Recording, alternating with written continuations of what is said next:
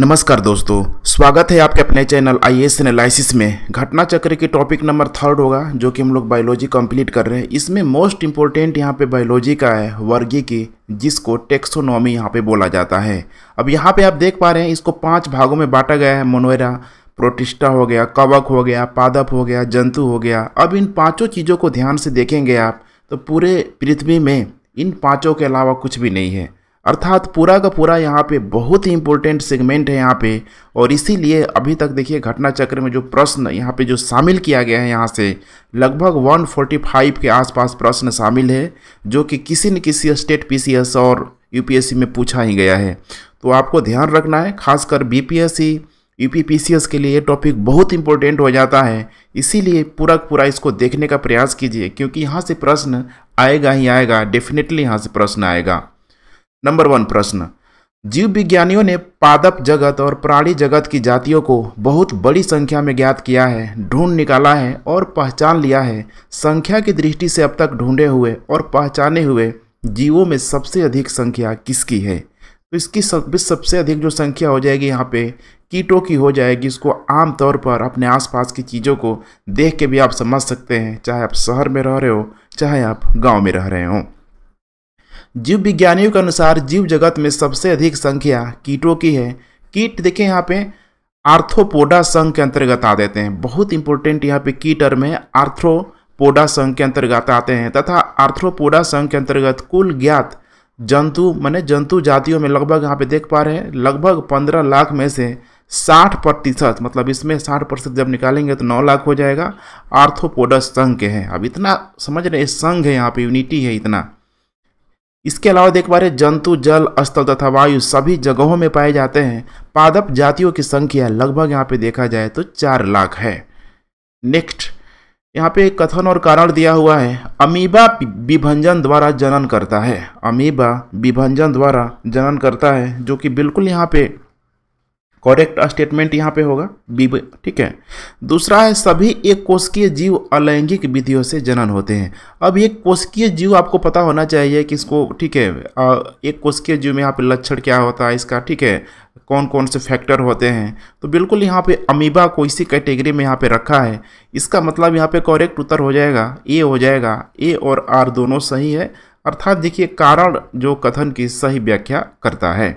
Correct उत्तर हो जाएगा ए देख पा रहे अमीबा एक प्रोटोजेवा, एक कोशिकीय जंतु है, जो कि प्रायः द्विखंडन विधि द्वारा जनन करता है। प्रायः सभी एक कोशिकीय जीव अलैंगिक विधि द्वारा यहाँ पे जनन क्रिया करते हैं। नेक्स्ट प्रश्न। गर्म रुधिर वाले जंतु वे होते हैं जो अपने शरीर के तापमान को क्या करते हैं? तो ये हमेशा एक सा यहाँ पे बनाए रखते हैं, ध्यान रखिएगा। एक सा बनाए यहाँ पे रखते हैं, जैसे कि इसमें, ठीक है जंतुओं की हम लोग बात कर लें, ठीक, इसमें जंतु में यहाँ पे इंसान भी आ जाएगा। इंसानों की बात कर लीजिए यहाँ पे कि जो अंदर का जो टेम्परेचर है, बिल्कुल यहाँ पे बैलेंस रहता है। तो सम समतापी यहाँ पे ध्यान रखिएगा होमोथर्मल जिसको बोला जाता है, अर्थात गर्म रुधिर वाले वे जंतु होते हैं जिनके शरीर का ताप वातावरण के ताप से प्रभावित न होकर सदैव यहाँ पे एक सा रहता है। इसके अंतर्गत देखिए पक्षी तथा स्तनधारी आते हैं। जब असम तापी के अंतर्गत, देखिए पा रहे यहाँ पे मत्स्य हो गया, उभयचर हो गया, सरीसृप इत्यादि जंतु आते हैं, जिनके शरीर का ताप वातावरण के ताप के अनुसार घटता, बढ़ता रहता है। तो सांपों को देखते होंगे आमतौर पर गर्मी के दिनों में बेचारा बिल से अपना बाहर निकल जाता है। ठीक है, या फिर बहुत अधिक जो गहराई में होता है, जहाँ पर ठंडा होता है, वहाँ वो सब जाना पसंद करता है। तो यहाँ पर आपको बिल्कुल ठीक है, डे टू डे लाइफ को ध्यान में रख के ही चलना है। निम्नलिखित में से कौन सा कथन यहाँ पे सही नहीं है? कह रहा है कि सभी इकाई नोर्डम सजीव पर, पर, प्रजा के यहाँ पे होते हैं। पहला यह स्टेटमेंट यहाँ पे सही है देख पा रहे देख देख पा रहे इकाई नोर्डम अर्थात समुद्र में पाई जाने वाले पंचतई अरिय समिति इसको बोलते हैं यहाँ पे देख पा रहे पेंटामेरस रेडियल सिमेट्री वाले ड्यूट्रोस्ट्रोमी यूसिलोमेट यूमेटो जोवा होते हैं, जिनकी यहाँ पे डिम्भक प्रवस्था में शरीर की यहाँ पे सममिति द्विपाशी मतलब देखिए यहाँ पे बहुत हिंदी काटपटा नाम है, इसको बोलते हैं बाइलेट्रल होती है, तथा सभी इकाई नोर्डम सजीव प्रजा के यहाँ पे नहीं होते हैं। इस प्रकार यहाँ पे करेक्ट स्टेटमेंट यहाँ पे ए होगा, मैंने ये यहाँ पे सही नहीं होगा, जबकि प्रश्नगत कथन यहाँ पे सही है। पूछ रहा है कि सही यहाँ पे नहीं है। बाकी सब सही है, गोला कृमि में कोई परिसंचरण तंत्र नहीं होता है, बिल्कुल सही है। अस्थि मछलियों में वाताशय ठीक है आमतौर से विद्यमान होता है, बिल्कुल सही है। उपास्थित मछलियों में निषेचन यहाँ पे आंतरिक होता है, बिल्कुल सही है। निम्नलिखित में से कौन यहाँ पे मछली नहीं है? मछली की प्रजाति में नहीं है, ये हो जाएगा स्टार फ़िश देख पा रहे कुछ समुद्री जंतुओं के नाम मछलियों के नाम से मिलते जुलते हैं, परंतु ये मछलियाँ नहीं है, जैसे कि jelly fish star fish silver fish cuttle fish hake fish razor fish cray fish बाकी जो आप देख पा रहे हैं यहाँ पे, बाकी जो साफ़ fish, guitar fish, pipe fish, ये सब यहाँ पे मछलियों की प्रजाति में ही ये सब आते हैं। तो ये नाम है ना, बहुत देखिए इंपॉर्टेंट है। नाम को ज़रूर आप लोग नोट कीजिएगा, क्योंकि ये किसी न किसी एग्ज़ाम में ज़रूर पूछ देगा, क्योंकि सब में फिस लगा हुआ है। नेक्स्ट प्रश्न, निम्न में से कौन सा एक वास्तविक, अर्थात मीन मछली है? अब वास्तविक मीन मछली है, ये हो जाएगा यहाँ पे देख पा रहे कैट फ़िश देखिए यहाँ पे कैट फ़िश। बाकी आप ऊपर देख रहे हैं, यहाँ पे जो मछली कैटेगरी में नहीं है, सब ऊपर दिया हुआ देखिए कैसे प्रश्न घुमा के पूछ लिया। तो करेक्ट उत्तर हो जाएगा इसका डी अर्थात रजत मीन एक छोटा पंखहीन कीट है। क्रेफिश एक कड़े खोल वाला जानवर है और जेलीफिश एक कसेरुकी जंतु यहाँ पे नहीं है। तथा यह मछली की श्रेणी में नहीं आता है। कैटफिश वास्तविक यहाँ पे मीन है मतलब मीन मने मछली। निम्न में से कौन सी वास्तविक रूप से मछली है यहाँ पे? तो वास्तविक रूप से जो मछली है, देखिए, समुद्री घोड़ा। लगेगा कि घोड़ा है तो मछली की कैटेगरी नहीं होगी। तो नाम में आपको बिल्कुल नहीं जाना है फ़िश लगा है तो हम लगा दें, ठीक है? देख पा रहे हैं, सितारा मछली नंबर वन दिया हुआ है। इसको बताया गया है कि सितारे नुमा इकाई नोर्डम श्रेणी का एक जंतु है। देखिए, क्या है? जंतु है। जेली फ़िश ऑरिलिया को कहते हैं, जो कि संघ सिल्ट्रेट का एक जंतु है यहाँ पे। इसके बाद यहाँ पे हैगफिश दिया हुआ है। हैगफिश को साइक्लो अस्टोमेटा समूह का जंतु है। इनमें जबड़ों का भाव होता है। यह भी वास्तविक मछली नहीं माना जाता है। समुद्री घोड़ा या फिर इसको अश्वमीन भी बोला जाता है। या फिर इसको हिप्पो कैंपस को यहाँ पे कहते हैं, जो कि एक वास्तविक अस्थिल ध्यान रखेगा। अस्थिल यहाँ पे मीन है, अर्थात बोनी फ़ीस होती है। नेक्स्ट प्रश्न।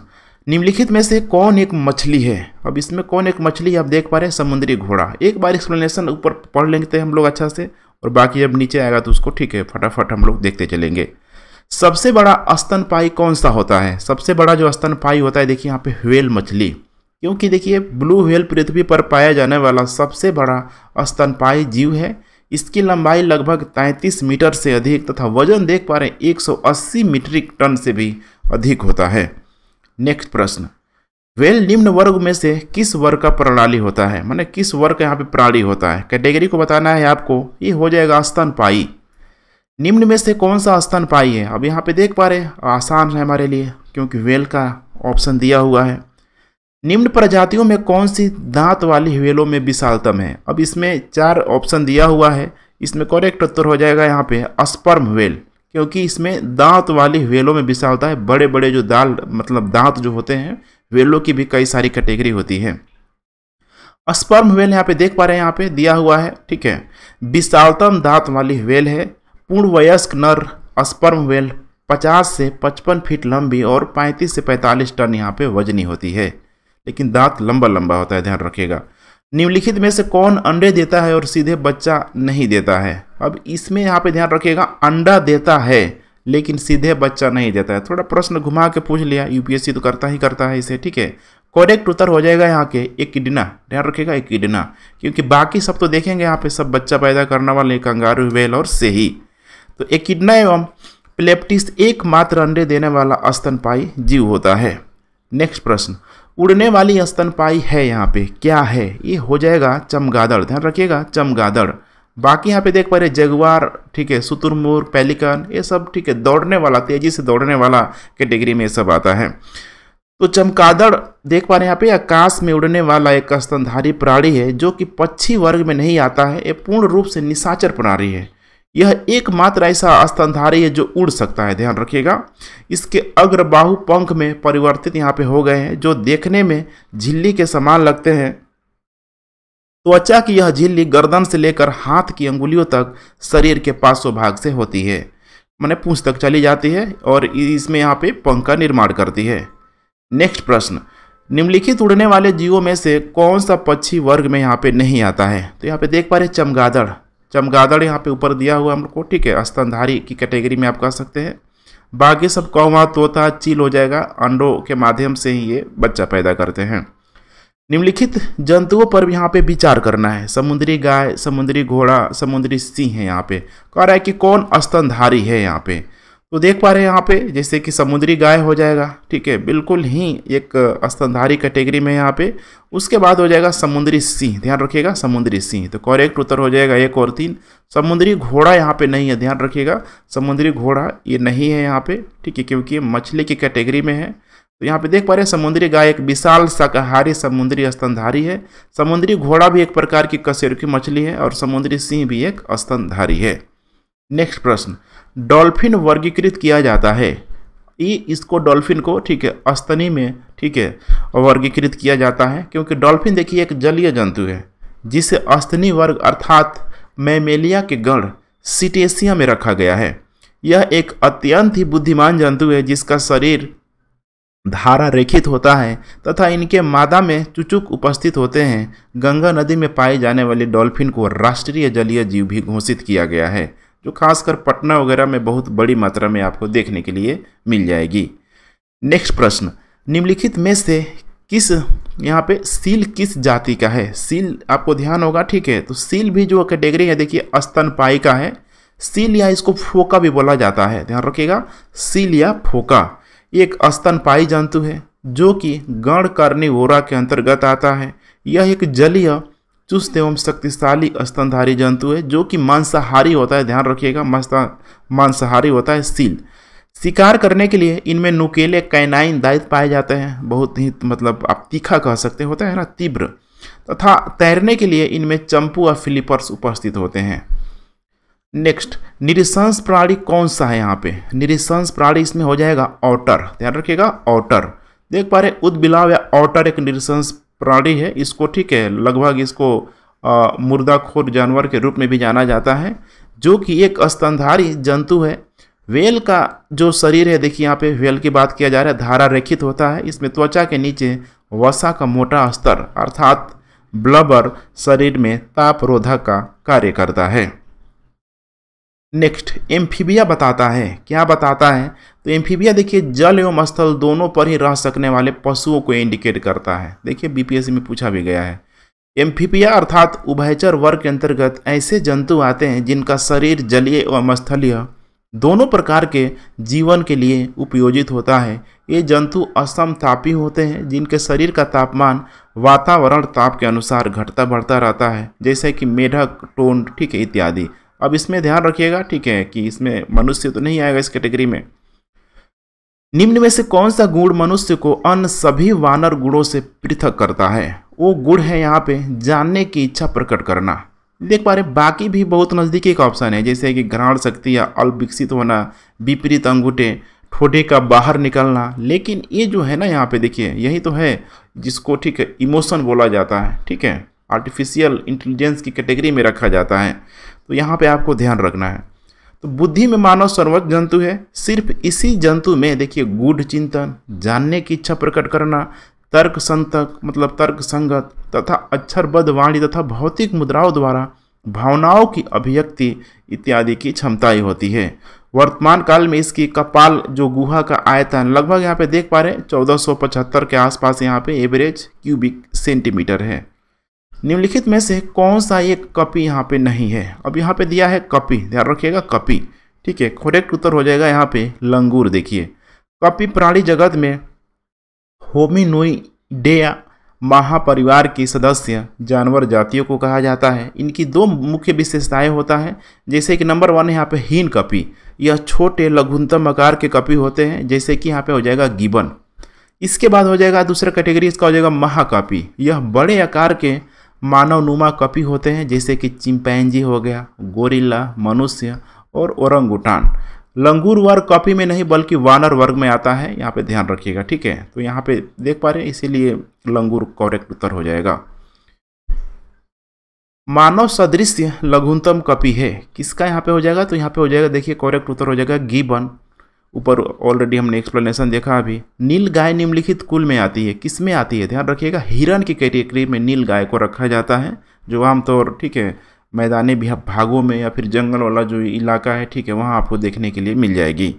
तो नील गाय भारत में पाए जाने वाली विशालतम मृग प्रजाति है। मृग उन जंतुओं को कहा जाता है, जिनमें अस्थायी सिंह होते हैं। अर्थात हिरणों के यहाँ पे सिंहों के समान ही नील गाय के सिंह हर साल गिरकर नए सिर से यहाँ पे नहीं उगते हैं। निम्नलिखित में से किस जंतु में खूर यहाँ पे नहीं पाए जाते हैं? खूर जिसमें नहीं पाया जाता है, देखिए यहाँ पे हिरन में, जेबरा में, घोड़ा में, गीदड़ में ध्यान रखिएगा, ये भी बहुत इंपॉर्टेंट यहाँ पे प्रश्न हो सकता है। लगेगा कि गीदड़ तेज़ी से भागता है तो खूर ज़रूर होगा। तो बड़ा अच्छा प्रश्न बना दिया है। तो गीदड़ को छोड़कर खूर वाले सारे पशु हैं, जैसे कि गीदड़ कुत्ते के परिवार की एक प्रजाति है। सामान्य गीदड़ों का वैज्ञानिक नाम कैनिसाइरिस होता है। और गीदड़ों के पैर नाखून युक्त यहाँ पे गद्दीदार होते हैं। तो कुत्ता को आप देख लीजिए, ठीक है उसके देखेंगे तो खुर आपको दिखाई नहीं देगा। ऑक्टोपस क्या होता है? तो ऑक्टोपस देख पा रहे हैं यहाँ पे एक मृत्यु कौची यहाँ पे मोलस के रूप में मतलब इसको जाना जाता है। ऑक्टोपस एक मृत्यु कौची यहाँ पे, ठीक है मोलक्स जंतु है, जिसे डेविल फ़िश के नाम से जानते हैं। यह एक सी फैलोप्लोट यहाँ पे ध्यान रखिएगा सी हैलोपोट मेलोस्क है जिसमें आठ मुखिया यहाँ पे देखे पड़े भुजाएँ पाई जाती है। इसके सिर में मुख तथा दो बड़े नेत्र पाए जाते हैं। इसके अलावा इसकी भुजाओं पर दो बक्थों मैंने पक्तियों में यहाँ पे चूसक पाए जाते हैं। सबसे बड़ा अकर, मैंने अकशेरुकी यहाँ पे है। क्या है यहाँ पे? तो ये हो जाएगा अस्कवीड क्लोसड अस्कवीड सबसे बड़ा अकशेरुकी है। यह अधिकतम 12 से 14 मीटर लंबा हो सकता है। नेक्स्ट प्रश्न। निम्नलिखित में से कौन सा एक जीव है? अन्य तीन जीवों के वर्ग का यहाँ पे नहीं होगा। यहाँ पे थोड़ा सा आपको बेमेल करना है तो यहाँ पे नंबर वन ही ऑप्शन करेक्ट है, देख पा रहे हैं, ए, केकड़ा। ठीक है? यहाँ पे हो जाएगा केकड़ा। ठीक है?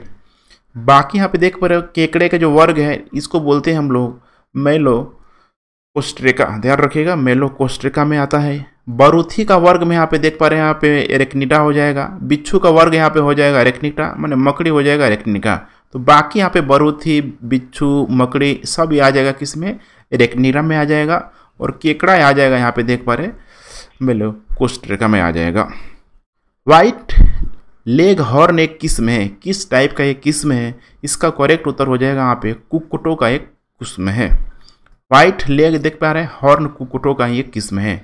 टीक और माइट वास्तव में क्या होते हैं? तो टीक और माइक जो कि यहाँ पे मकड़ी, ध्यान रखिएगा, मकड़ी के वंश के, ठीक है? तो टीक तथा माइक वास्तव में मकड़ी के वंश के होते हैं, जो कि एरेनी गढ़ के अंतर्गत आते हैं। बड़ा ही टेक्निकल टर्म दिया हुआ है, जो अक्सर एग्ज़ाम में पूछा जाता है। एरेनी गढ़ के अंतर्गत आते हैं। इनके उपांग में संधि युक्त यहाँ पे ज्वाइंटेड होते हैं, मैंने ज्वाइंट होता है यहाँ पे, तथा इनका शरीर द्विपार्श्वीय, अर्थात बाइलेटरल एवं त्रिस्तरीय, अर्थात ट्राइप्लोब्लास्टिक होता है। अधिकांश यहाँ पे देख पा रहे टिक कशेरुकी जीवों के बाएँ परजीवी होते हैं, जबकि माइट्स परजीवी तथा स्वतंत्र जीवी होते हैं। नेक्स्ट प्रश्न, जुगनू होता है एक, इसको किस कैटेगरी में रखा जाता है? तो एक कीट की कैटेगरी में रखा जाता है। जुगनी या यहाँ पे खगोत कीटों का एक परिवार है, याद रखिएगा, खगोत कीटों का एक परिवार है, इनके पंख होते हैं ये जीव दीप्त उत्पन्न करके, मैंने प्रकाश उत्पन्न करके अपने संगी को आकृष्ट करते हैं। देखिए, क्या करते हैं अपने संगी को, ठीक है? मैंने समझ रहे हैं ना अपनी मतलब गर्लफ्रेंड कह सकते हैं, या दूसरे जानवरों को शिकार करने के लिए इसका उपयोग करते हैं। वैज्ञानिकों ने यह सिद्ध किया कि जुगनू की चमक यहाँ पे ल्यूसीफेरस नामक इंजाइम के कारण होता है। निम्नांकित में से कौन सा यहाँ पे कीट नहीं है? इसमें कीट नहीं होगा, देखिए, खटमल, घरेलू मच्छी, ठीक है, मक्खी, मच्छर, सब कीट में है। मकड़ी ध्यान रखिएगा, मकड़ी यहाँ पे कीट में नहीं होगा। मकड़ी का जो वर्ग है यहाँ पे एरेकनीडा ध्यान रखिएगा एरेकनीटा तथा क्रम एरेनी का एक जंतु है, जो कि उदर के पश्च भाग में स्थित ग्रंथियों के स्लाव से जाला बनाती है। सभी मकड़ियाँ परभक्षी होती है अन्य विकल्प के जंतु कीट वर्ग अर्थात क्लास इंसेक्टा के अंतर्गत आते हैं। इनमें तीन जोड़ी अर्थात यहाँ पे, तीन जोड़ी का मतलब यहाँ पे छः पात छः लेग पाए जाते हैं, ध्यान रखिएगा, जो कि सभी कीटों का विशिष्ट गुण है। मकड़ी कीट वर्ग के अंतर्गत नहीं आता है, क्योंकि इसको आठ पैर यहाँ पे पाया जाता है। तो ध्यान रखिएगा, मकड़ी का आठ पैर और बाकी यहाँ पे खटमल, घरेलू मच्छी, मच्छर, इसका दे सकता है, ठीक है? इसका हो जाएगा छः पैर। मकड़ी कीट से भिन्न होती है क्योंकि मकड़ी में पाई जाती है। देखिए, कितनी टांगे पाई जाती है मकड़ी में? आठ टांगे। बाकी में जनरली यहाँ पे हो जाएगा छः टांगे।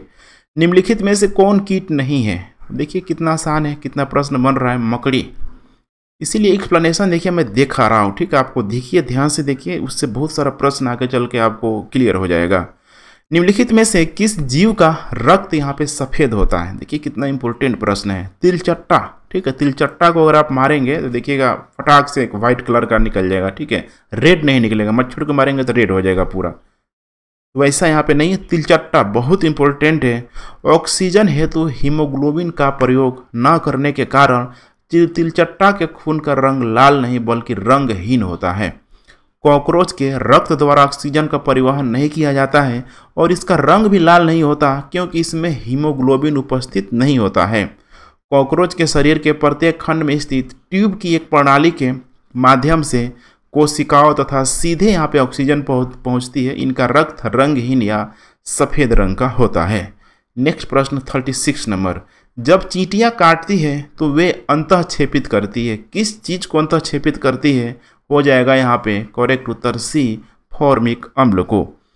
चीटियों के काटे जाने पर देखिए, शरीर में फॉर्मिक अम्ल का अंत छेपड़ होता है, जिसके परिणाम स्वरूप शरीर में दर्द तथा चुनचुनाहट का आभास होता है।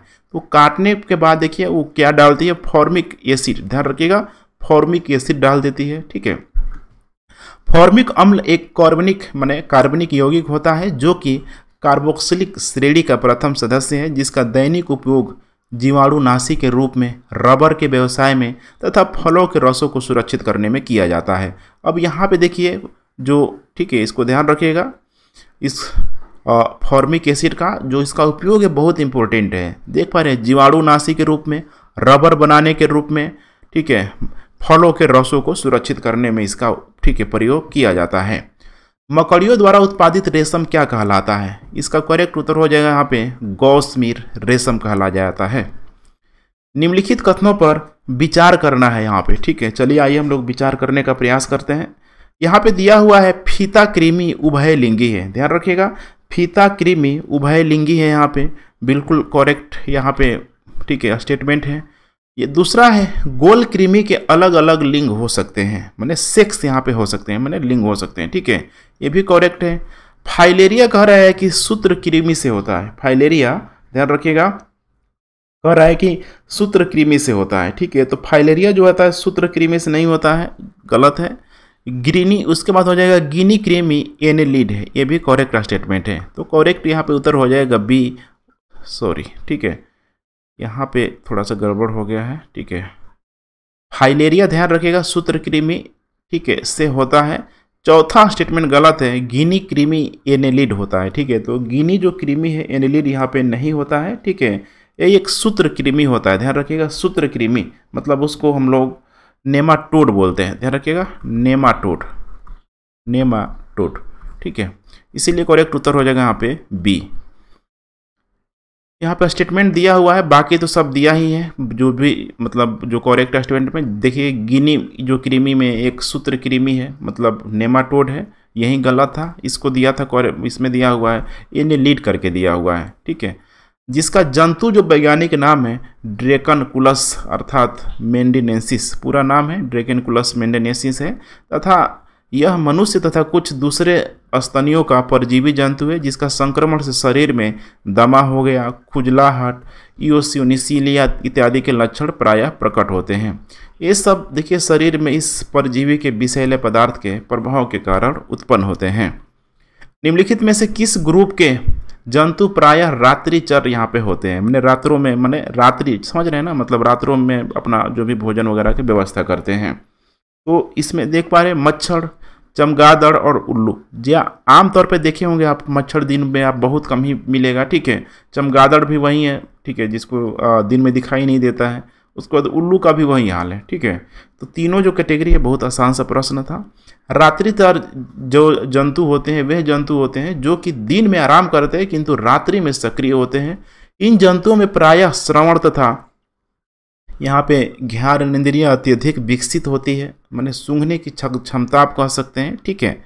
एवं दृष्टि क्षमता विशेष अनुकूलित होती हैं, जैसे कि मच्छर, चमगादड़, उल्लू, कीवी, ये सब यहाँ पे इत्यादि जो जंतु होते हैं, रात्रिचर होते हैं। देखिएगा, मच्छर को पता नहीं है, जहाँ तहाँ जाके बैठ जाएगा, उसको, ठीक है, पूर्णतः दिखाई नहीं देता है, ठीक है? जैसे मारने जाएँगे तो एक वेव जो निकलेगा, ठीक है, उसको पूरी तरीके से गेन कर लेगा, जिसकी वजह से भाग जाएगा।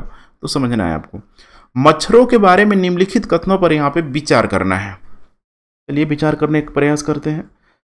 देखिए यहाँ पे, केवल नर यहाँ पे रक्त चूसते हैं। अब यहाँ पे आपको कन्फ्यूज़न ठीक है, सारा का सारा यहाँ पे आपको क्लियर करना है। कह रहा है कि नंबर वन स्टेटमेंट है यहाँ पे कि केवल नर रक्त चूसते हैं। तो मादा क्या, नहीं चूसेगी। पहला ही गलत है यहाँ पे, वो कैसे ज़िंदा रहेगी? केवल मादा रक्त चूसती है यहाँ पे, ठीक है? अब ये यहाँ पे बहुत इंपॉर्टेंट प्रश्न है, मादा रक्त चूसती है, नर नहीं चूसता है, ठीक है? तो ये यहाँ पे हो जाएगा करेक्ट स्टेटमेंट हो जाएगा, ठीक है? दो नंबर। मादा पौधों का रस चूसती है, ठीक है? पौधों का रस कहाँ चूस मतलब यहाँ पे देख रहे हैं ना, मच्छर है यहाँ पे। पौधों का रस नहीं, ये इंसानों का रस चूसती है, ठीक है? मादा की अपेक्षा नर के डहने बड़े होते हैं। मादा की अपेक्षा नर के जो डहने, ध्यान रखिएगा, छोटे होते हैं, ठीक है? ये भी गलत हो जाएगा। नर की अपेक्षा मादा के डहने बड़े होते हैं। ये करेक्ट स्टेटमेंट है। देख पा रहे दो और पाँच यहाँ पे सही है, बाकी सब यहाँ पे गलत हो जाएगा। इसीलिए करेक्ट उत्तर हो जाएगा यहाँ पे डी ठीक है तो इसमें तो कुछ करने की ज़रूरत नहीं है। देख लीजिए, केवल मादा मच्छर ही गर्म रुधिर वाले कशेरुकी पची अस्तनियों का रुधिर चूसती है। बाह्य परजीवी के रूप में होती है। नर मच्छर रुधिर यहाँ पे नहीं चूसते हैं, ध्यान रखिएगा। ठीक है? ये अपना पालन जो पोषण है, फल फूलों के रसों से करते हैं। कभी कभी मादाएँ भी फल फूलों का रस यहाँ पे चूस सकती हैं। तो मादा दोनों को ले लीजिएगा, ठीक है? ब्लड भी मतलब खून भी और यहाँ पे फल फूलों के रस भी।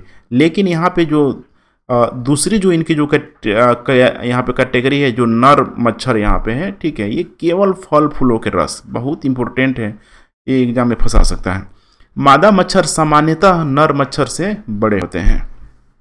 नेक्स्ट निम्नलिखित में से कौन से प्राणी अपनी आंत्र में जल का संग्रह कर लेते हैं? अब यहाँ पे देख पा रहे हैं, एक ही है वैसा ऊँट, ठीक है? मरुस्थल का जहाज़ कहा जाने वाला ऊँट, ठीक है? क्योंकि इसका शरीर पूर्णतः यहाँ पे मरुस्थल के प्रति, मैंने बिल्कुल एडोप्टेड होता है, अनुकूलित होता है। इनके पैर गद्देदार होते हैं श्वसन की लय अति धीमी होती है, तथा ये एक बार में अत्यधिक जल को पीकर जल का ये लोग संग्रह अपनी आंत में कर लेते हैं, जिससे कई दिनों तक उन्हें जल की आवश्यकता नहीं होती है। निम्नलिखित में से कौन सा जानवर बिना पानी पिए सबसे लंबी अवधि तक यहाँ पर रह सकता है? उसका नाम है यहाँ पे कंगारू चूहा। ध्यान रखिएगा, कंगारू चूहा बिना पानी पिए सबसे लंबी अवधि तक जीवित रह सकता है। इसमें यह अनुकूलता उसके उत्सर्जन तंत्र की विशेष संरचना व कार्य प्रणाली के कारण होती है। निम्नलिखित में से कौन सा जानवर ठोस मूत्र उत्सर्जित करता है? उस जानवर का नाम है यहाँ पे देखिए, कंगारू चूहा। सर्पों की विष ग्रंथियाँ किसकी समांग है? तो सर्पों की जो विष, जो ग्रंथियाँ हैं यहाँ पे, इसका करेक्ट यहाँ पे उत्तर हो जाएगा। कसेरकु प्रारियों के, ठीक है, लार ग्रंथियों के समान है, ठीक है? सर्पों की विशेष जो, ठीक है, मैंने बीस जो ग्रंथि होती है, विशेष नहीं, बीस ग्रंथि, जहाँ पे वो लोग रखा रहता है बीस, कसेरकु प्राणियों की लार ग्रंथियों के समान होते हैं जिससे लार होता है ना मतलब मतलब गिरता है, वैसे ही उनका है वो विष ठीक है? तुरंत काटते ही चला जाएगा। सांप का विष वास्तव में उसकी लार का ही परिष्कृत यहाँ पे रूप है। तो एक तरह से सांप, समझ रहे हैं ना मतलब वो लार नहीं है, उसका विष है वो। सांप के जहरीले विषदंत होते हैं, जो रूपांतरित रूप होते हैं। किसका? जंभिका दंत के। ध्यान रखिएगा, जंभिका दंत के। तो विषैलो सांपों में ऊपरी जबड़े की मैक्सिली हड्डियों से एक से जो तीन जोड़ी प्रायः, मैंने एक जोड़ी मतलब मान के चलिए, बड़े व पीछे की ओर मुड़े बीस दंत अर्थात तालू से मुख ग्रासन यहाँ पे गुहिका में उभरे रहते हैं। यह मैक्सलरी दंत अर्थात जिसको जंभिका दंत भी बोला जाता है, ऊपरी जबड़े में स्थित बीस ग्रंथियों से संबंध होते हैं। तो बहुत सारे यूट्यूब वगैरह में आप लोगों ने देखा होगा, ठीक है, सांप वगैरह का जो दिखाता है तो उसमें जो ऊपरी जो भाग है, ध्यान रखिएगा, वहीं उसका, ठीक है, जो बीस वाला जिसको दांत बोलते हैं, जिसको तोड़ दिया जाता है, ठीक है, आमतौर पर तो बहुत आसान है। चट्टान पर उगने वाला पादप कहलाता है। ध्यान रखिएगा सैलोदभीत कहलाता है। निम्नलिखित में से कौन सा एक कीटाहारी यहाँ पे पादप है? इसका करेक्ट उत्तर हो जाए घटपर्णी घटपर्णी देखिए, पौधा शिकार पकड़ने की, अपनी बनावट के कारण मांस भच्ची पौधे के रूप में जाना जाता है। घटपर्णी पौधे में फंसे कीट उसमें एकत्रित विषैले द्रव से मर जाते हैं। घटपर्णी के निम्नलिखित भागों में से कौन सा एक घट में यहाँ पे रूपांतरित होता है? ये होता है जहाँ पत्ता, ध्यान रखिएगा, पत्ता। तो घटपर्णी मांसाहारी देखिए कीट भक्षी पौधे होते हैं, जो अल्प खनिज या अम्लीय मृदा में उगते हैं, तथा जहाँ पर नाइट्रोजन की कमी होती है, नाइट्रोजन की कमी को पूरा करने के लिए एक कीटों को अपना आहार बनाते हैं। इन पौधों की पत्तियों में पर्णफलक कलश या सुराही की भांति विकसित होते हैं, जिसमें पाचक इंजाइम पाए जाते हैं। जैसे ही कोई कीट पत्तियों के अंदर प्रविष्ट होता है, वैसे ही कलश के ढक्कन द्वारा ढक लिया जाता है और पाचक इंजाइमों द्वारा नाइट्रोजन का पाचन घटपण द्वारा कर लिया जाता है। निम्नलिखित में से कौन सा सही रूप में सुमेलित नहीं है? यहाँ पे देख पा रहे इष्ट किड़वन है, ठीक है। बिल्कुल सही है, कैसिन दुग्ध प्रोटीन एलोवेरा में ध्यान रखिएगा, आवृत बीजी होता है। बहुत इंपॉर्टेंट नाम है, क्योंकि वर्तमान में एलोवेरा भी कहीं ना कहीं डे टू डे लाइफ का पार्ट बनते जा रहा है। चौथे नंबर पे घटपर्णी घटपर्णी को दिया हुआ है, परजीवी आवृत बीजी। यही स्टेटमेंट यहाँ पे गलत है, क्योंकि घटपर्णी में देख देख पा रहे हैं नेफेतीस का पौधा प्रकाश संश्लेषण की क्रिया द्वारा अपना भोजन बनाने में सहायक होता है। तो घटपर्णी में हो जाएगा नेफेतीस ध्यान रखिएगा नेपेथिंस यह प्रायः ऐसे स्थान पर उगता है, जहाँ की मृदा में नाइट्रोजन की कमी होती है, जिसकी पूर्ति वह कीटों को पचाकर करता है। नेक्स्ट प्रश्न निम्नलिखित में से कौन सा युग में सही सुमेलित यहाँ पे नहीं है? ठीक है, अब यहाँ पे देख पा रहे हैं। सही सुमेलित नहीं है। देखिए, एकदम इसको रिपीट किया है। देखिए, यहाँ पे घटपर्णों में फिर से दे दिया जलोदभिद और हमने क्या देखा था अभी? नेफेथिन देखा हुआ था। बाकी सब सही है। अमर बेल का सम्मान तना परजीवी चंदन का हो जाएगा जड़ परजीवी और आर्किड का हो जाएगा अधिपादप। ठीक है करेक्ट उत्तर हो जाएगा यहाँ पे डी जो सही नहीं है। तो देख पा रहे घटपर्णी में नेफेतीस अर्थात नेफेतीस कुल का कीटभक्षी पौधा है। ये पौधा मुख्यतः साख होते हैं। ध्यान रखिएगा साख मैंने सखाए होते हैं और दलदली या अधिक नम स्थानों पर उगते हैं। जलोद्भिद से है। अंशतः अथवा पूर्णतः यहाँ पे जल निमग्न पौधे से हैं। इस प्रकार के पादप जलीय पर्यावरण में रहने वाले एवं विकसित होने के लिए अनुकूल होते हैं।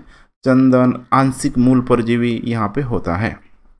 नेक्स्ट प्रश्न फिफ्टी वन नेफेतीस खासियाना नामक दुर्लभ एवं आपातीय पौधा पाया जाता है। कहाँ पाया जाता है? ध्यान रखिएगा, मेघालय में पाया जाता है।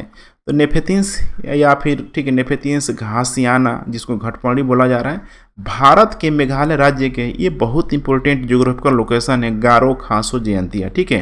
मैंने गारो खांसी जयंतिया ट्राइब वाला इलाका है, यहीं पहाड़ी में पाया जाता है। इन्हीं क्षेत्रों में देखेंगे, ठीक है तो वर्षा भी सबसे अधिक होती है।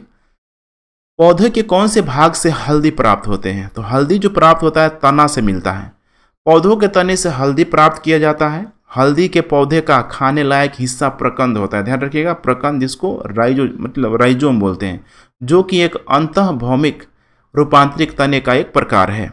हल्दी का पौधा देखिए, एक प्रकंदीय, बहुवर्षीय शाकीय पौधा है, जिसका वनस्पतिक जो नाम होगा, यहाँ पे कुरकुम लांगा ध्यान रखिएगा, वनस्पतिक नाम हल्दी का कुरकुम, लांगा। तथा यह फूल, यह जो, ठीक है, कुल है, इसकी कैटेगरी है, जिंजिम बरेसी फैमिली के अंतर्गत आता है। इसकी उत्पत्ति स्थल उष्ण कटिबंधीय दक्षिण एशिया में है, जहाँ पर टेम्परेचर बहुत अधिक मात्रा में होता है, वर्षा भी अधिक मात्रा में होता है, जिसका उपयोग औषधि मसाला तो डे टू डे लाइफ में हमारा रंग का रंग, ठीक है कलर इत्यादि के रूप में किया जाता है। हल्दी के पौधे का खाना लायक हिस्सा कौन है? तो खाने लायक हिस्सा यही है। सॉरी यहाँ पे देखिए, खाने लायक जो हिस्सा है यहाँ पे हो जाएगा, प्रकंद। ठीक है, यहाँ पे कंद दिया है। ठीक है, यहाँ पे प्रकंद है। तो यहाँ पे करेक्ट उत्तर हो जाएगा, प्रकंद। फलों का वह प्रकार जिसमें लीची को रखा जा सकता है। तो लिपि को लीची को रखा जाता है, यहाँ पे ध्यान रखिएगा। ठीक है, ड्रूप में रखा जाता है। लीची ये भी देखिए उष्ण कटिबंधीय फल है। यह सूप बैरी परिवार का सदस्य है। जो भी कैटेगरी है, जिस फैमिली का कैटेगरी ध्यान रखिएगा, उस कैटेगरी को आपको याद रखना है, ठीक है? यह एक प्रकार का ड्रूप है। ड्रूप ऐसे फल को कहते हैं, जिसके बाहरी छिलके और गुंदे के आकार एक सख्त यहाँ पे गुठली होता है। नेक्स्ट प्रश्न। निम्न अधोभूमि उत्पादित सब्जियों में, देख पा रहे हैं यहाँ पे, कौन सी एक रूपांतरित यहाँ पे जड़ है? इसका करेक्ट उत्तर हो जाएगा शकरकंद। ध्यान रखिएगा, इसका करेक्ट उत्तर हो जाएगा यहाँ पे शकरकंद। तो शकरकंद देख पा रहे हैं यहाँ पे ओवल बुलेसी कुल का एक वर्षीय पौधा है। जितना भी देखिए फैमिली है ना यहाँ पे फैमिली को आपको लिखना होगा, नहीं लिखेंगे तो लंबे समय तक आपको ध्यान नहीं रहेगा। और अभी यही समय है, देखिए बीपीएससी के एग्ज़ाम में जस्ट यू पी का जस्ट आएगा यूपीएससी का आएगा। तो एक जगह इस सारे कैटेगरी को बना कर रखिए यहाँ पे, क्योंकि यहाँ पे बाकी सारे चीज़ों से देखने से अच्छा है कि यहाँ पे जो जो पूछा जा रहा है, उसी को आप देख के चलिए तो ज़्यादा आपके लिए फ़ायदेमंद होगा। पर यह अनुकूल परिस्थितियों में बहुवर्षीय सा व्यवहार कर सकता है। यह एक सपुष्क पौधा है जिसकी रूपांतरित जड़ की उत्पत्ति तने के पर्वसंधियों से होती है, जो ज़मीन के अंदर प्रवेश करके फूल जाती है। निम्नलिखित पादपों पे मतलब पादपों में से किसका संग्रह अंग तना नहीं है? ये हो जाएगा करेक्ट उत्तर, शकरकंद का। देख पा रहे हैं, बाकी जो है गन्ना, आलू, अदरक, तने का रूपांतरण है, अर्थात इनका संग्रह जो अंग तना है, जबकि शकरकंद का संग्रह और यहाँ पे जड़ हो जाएगा, ठीक है? तो तना ऊपर वाला भाग हो जाएगा, ठीक है? ध्यान रखिएगा। और उसके बाद यहाँ पे देख पा रहे हैं, जड़ वाला भाग हो जाएगा, शकरकंद वाला। निम्न में से कौन सा तना हो जाएगा? तो तना का मतलब यहाँ पे देखिए, सलजम, ठीक है? सलजम है, गाजर है, शकरकंद है, यहाँ पे अदरक है। तो तना का भाग हो जाएगा, यहाँ पे ध्यान रखिएगा, अदरक, ठीक है? कौन सा हो जाएगा? अदरक, ठीक है? फिर वही बात है, गन्ना, आलू एवं अदरक तने का रूपांतरण है, अर्थात इनका संग्रह अंग तना है। जबकि जो सलजम है, गाजर है, शकरकंद, ये जड़ों की ध्यान रखिएगा, ये सब श्रेणी होता है। अदरक तना है, जड़ नहीं है, क्योंकि इनमें नोड और इंटरनोड यहाँ पे होते हैं। ध्यान रखिएगा नोड और इंटरनोड होते हैं, इसीलिए अदरक ध्यान रखिएगा, तना है, जड़ नहीं है। लग रहा होगा कि सब तो नीचे ही होता है, ठीक है? तो फिर इतना अंतर क्यों हो रहा है? अंतर है। नोड एवं इंटरनोड का उपस्थित होना तने का विशेष लक्षण है, चूँकि अदरक में संरचनाएँ पाई जाती है, अतः यह कहा जा सकता है कि अदरक तना है, जड़ नहीं है। निम्न को सुमेलित करना है यहाँ पे। चलिए सुमेलित करने का प्रयास करते हैं। पहला है यहाँ पे देखिए प्रकंद। प्रकंद का संबंध यहाँ पे हो जाएगा अदरक से। स्तंभ कंद का संबंध हो जाएगा आलू से। सल्क कंद का संबंध हो जाएगा लहसुन से। और फिर लास्ट में बन गया घन कंद। इसका संबंध हो जाएगा जिमिकिन सुरन से। तो ए का तीन और बी का फोर ए का थ्री और बी का फोर देखिए, आमतौर पर कितना ऑप्शन बनाया है? पाँच पाँच ऑप्शन है यहाँ पे। लेकिन अब सी से क्लियर होगा। सल्क कंद का हो जाएगा सी का वन ठीक है सी का वन देखिए, यहाँ भी सॉरी सी का वन हो जाएगा। ठीक है करेक्ट उत्तर हो जाएगा यहाँ पे सी देख पा रहे हैं, दिया भी है। निम्नलिखित में से कौन सा रूपांतरित स्तंभ है? इसमें आलू हो जाएगा, ध्यान रखिएगा, आलू। आलू एक अंत भौमिक रूपांतरित स्तंभ, कंद है। कंद मतलब समझ रहे हैं ना, ट्यूबर, जिसमें भोजन का संचयन हो जाता है और इसका प्रयोग जो है भोज्य पदार्थों के रूप में किया जाता है। इसमें अनेक जो कलिकाएँ जिसको बर्ड्स बोला जाता है, पाई जाती है, जो वृद्धि कर नए पौधों का रूप ले लेती है। आलू है एक। क्या है आलू? आलू देखिए एक प्रकार का कंद होगा, ठीक है? आलू एक भूमिगत रूपांतरित तना जिसको कंद कहते हैं। ये लगभग गोलाकार होता है, ठीक है? तथा भूमिगत शाखाओं के अंतिम सिरों के फूलने से इनका विकास होता है। कंदों के पार्श्व भाग तथा शिखर पर कलिकाएँ पाई जाती है। आलू की आँख ध्यान रखिएगा पर्व संधियों को प्रदर्शित करता है, जिससे नए पौधों का विकास होता है। आमतौर आप लोग देखते होंगे, ठीक है, कि लास्ट में जब, ठीक है, आलू की जब यहाँ पे खेती करना होता है तो उसको, ठीक है, रखा जाता है बहुत अच्छे तरीके से ताकि उसमें आँख आ जाए। तो छोटे छोटे ठीक है येलो इस कलर में देखते होंगे, उसमें आ जाता है वाइट येलो टाइप का। नेक्स्ट निम्नलिखित में से कौन सा कौको और उच्चतर पादपों की जड़ों के बीच उपयोगी प्रकार्य के यहाँ पे सहचर्य है? इसका करेक्ट उत्तर हो जाएगा, ध्यान रखिएगा, कवक मूलक।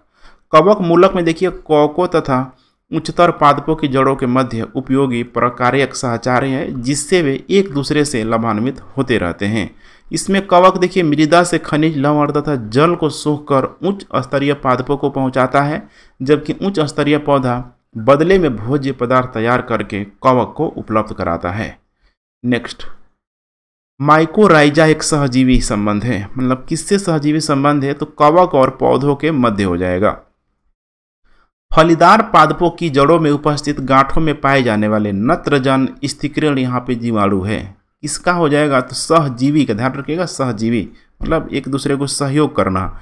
तो फलीदार पौधों की जड़ों में देखिए, मौजूद गांठों में पाए जाने वाले विशेष जो जीवाणु राइजोबियम, जिसको सहजीविता का जीवन यापन करते हैं, जहाँ एक और जीवाणु नाइट्रोजन यौगिकरण द्वारा नाइट्रोजन को देखिए नाइट्रोज में बदलकर पौधे को उपलब्ध कराते हैं। वहीं दूसरी ओर यह फलीदार पौधा इन्हें आवास तथा भोजन उपलब्ध कराता है।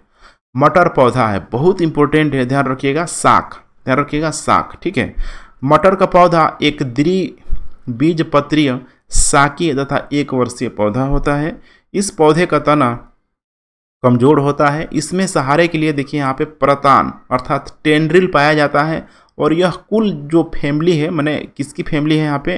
लेग्यूमिनेसी फैमिली के अंतर्गत आता है। यही फैमिली देखिए बहुत प्रश्न पूछा जा रहा है यहाँ से। तना काट आमतौर से किसके प्रबंधन के लिए प्रयोग किया जाता है? इसका करेक्ट उत्तर हो जाएगा तना काट देखिए, गन्ने का हो जाता है, ठीक है। गन्ने को हम लोग काट देते हैं, उसका, ठीक है, ऊपर का भाग। गन्ना देखिए, ये हो जाएगा कुल ग्रेमनी। ध्यान रखिएगा, कुल ग्रेमनी मैंने इस गन्ना का जो कुल है, फैमिली है, ग्रेमनी के अंतर्गत आता है, ग्रेमनी फैमिली का है, जिसका तना काट आमतौर से कायिक प्रवर्धन के लिए प्रयुक्त किया जाता है। इसका तना ठोस एवं संधिबद्ध यहाँ पे होता है। देख पा रहे हैं ऐसे गन्ना के जो होता है, ठीक है ऐसे ऐसे लगा रहता है गोल गोल का आकृति, ठीक है। जिसमें पर्व अर्थात नोट्स, उसी को नोट्स बोला जाता है तथा पर्व संधियाँ यहाँ पे इंटर नोट्स पाई जाती है। लॉन्ग होता है, बहुत इंपॉर्टेंट सवाल, ठीक है। इसको बीपीएससी भी कितने बार पूछा जाएगा? यूपीपीसीएस भी पूछा है, ठीक है तो लॉन्ग होता है बंद कलिया, ठीक है। लौंग, बंद गलिया या पुष्प गलिका है जिसका उपयोग भोज्य पदार्थ, दांतों के दर्द निवारक आदि में किया जाता है। लौंग के पौधे का जो वनस्पतिक जो नाम है, ध्यान रखिएगा, साइजीजियम एरोमेटिक हो जाए, जो कुल, देखिए, मिर्टेसी के अंतर्गत आता है। इसका जन्म स्थल इंडोनेशिया को माना गया है, तथा इसका जो उपयोग है, समस्त विश्व में किया जाता है। यह एक सदाबहार वृक्ष है, ऊंचाई लगभग 10 से 20 मीटर तक होती है। इसकी पत्तियाँ बड़ी एवं यहाँ पे अंडकार होती है। निम्नलिखित मसालों में से कौन सी एक पुष्प कलिका होती है? पुष्प का कलिका जो होती है, देखिए यहाँ पे लौंग का, ध्यान रखिएगा लौंग का। तो लौंग, देखिए यहाँ पे यूजीनिया कैरियोफाइलेटा नामक मध्यम कद वाले सदाबहार वृक्ष की पुष्प कलिका है, जिसे सुखाकर मसाला, औषधियाँ, भोज्य पदार्थ सब इसके रूप में प्रयोग किया जाता है। सिक्सटी नाइन नंबर प्रश्न, लौंग है। लौंग क्या है? तो देखिए, एक सूखा फूल। लौंग पौधे के निम्नलिखित में से किस भाग से प्राप्त होते हैं? तो लौंग पौधे के, देखिए, यहाँ पे जो प्राप्त होते हैं, ठीक है, शुष्क, जो पुष्प कली से प्राप्त होते हैं। लौंग एक मसाला, पौधे के किस भाग से प्राप्त होता है? फूल की कली से, ध्यान रखिएगा, फूल की कली से प्राप्त होता है। निम्नलिखित में से कौन सा एक सुमेलित है? तो यहाँ पे देखिए, अदरक, राइजोजोम, ठीक है सॉरी राइजोम हो जाएगा। केसर हो जाएगा यहाँ पे देखिए बीज दिया हुआ है ठीक है? यही मामला गड़बड़ कर दिया क्योंकि यहाँ पे जो केसर है ठीक है ए, यहाँ पे पुष्प की वर्तिका से संबंधित यहाँ पे ध्यान रखिएगा ठीक है? यही यहाँ पे गलत हो जाएगा ध्यान रखिएगा यही यहाँ पे गलत यहाँ पे हो जाएगा ठीक है? सेफ्रोन आप नाम नाम आप लोगों ने ज़रूर सुना ही होगा ठीक है? अफीम का हो जाएगा अफीम की डुड्डी सन का हो जाएगा तना ठीक है? तो सुमेलित नहीं है करेक्ट उत्तर हो जाएगा केसर। केसर एक मसाला है, देख पा रहे जिसे सेफ्रोन फोकस के पुष्प की वर्तिका तथा वर्तिकाग्र से प्राप्त किया जाता है। इस पौधे का वनस्पतिक जो नाम है क्रोकट सॉरी क्रोकस सेटाइवस है, जो कि इरिडेसी कुल के अंतर्गत आता है। केसर फूल के स्त्री भाग से प्राप्त किया जाता है, ध्यान रखिएगा, ये भी बहुत इंपॉर्टेंट है, ठीक है? जो बीज बनाने वाला भाग है, यह एक पुष्पीय बहुवर्षीय पौधा होता है, केसर का साथ तीखा होता है तथा इसमें सेफ्रोनॉल और पिक्रो क्रोसिन नामक रसायन पाया जाता है। इसका उपयोग औषधि तथा भोज्य पदार्थों को स्वादिष्ट बनाने के लिए किया जाता है। केसर होता है सूखा मिश्रण। किसका होता है सूखा मिश्रण? तो फूलों के बीज बनाने वाले भागों का। करेक्ट उत्तर सी। नीचे दिए गए पौधों और उनके भागों के युग्मों में से कौन सा सही सुमेलित नहीं है? कौन सुमेलित नहीं है? तो देखिए, आलू का दिया हुआ है यहाँ पे मूल। ध्यान रखिएगा, आलू का मूल, जबकि अदरक का प्रकंद हो जाएगा, प्याज का मांसलपूर्ण और नारियल का हो जाएगा भ्रूण पोस्त। तो आलू का क्या हो जाएगा?